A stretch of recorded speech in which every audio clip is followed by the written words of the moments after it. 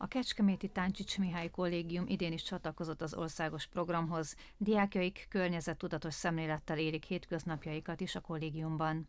A fenntarthatósági témahét keretén belül hétfőn a kollégium területét és környezetét tették rendbe a Teszed akció keretében. Holnap folytatódik a személygyűjtés a Csalánosi Parkerdőben, ahová hagyományosan évről évre kerékpárral mennek ki a kollégisták. Ma délután újrahasznosított hulladékokból készítettek dekorációs elemeket Vámos Zoltán képzőművész közreműködésével. A fenntarthatósági témahét záró eseményeként a csütörtöki nap témája a körforgásos gazdálkodás lesz. Ezt a fiatalok számára egy családi gazdaságon keresztül mutatják be, akik levendula ültetvényüket maguk gondozzák, a levendulából különböző termékeket állítanak elő, amiket értékesítenek is. A témával bővebben a mai Kiemelő című magazin műsorunkban foglalkozunk.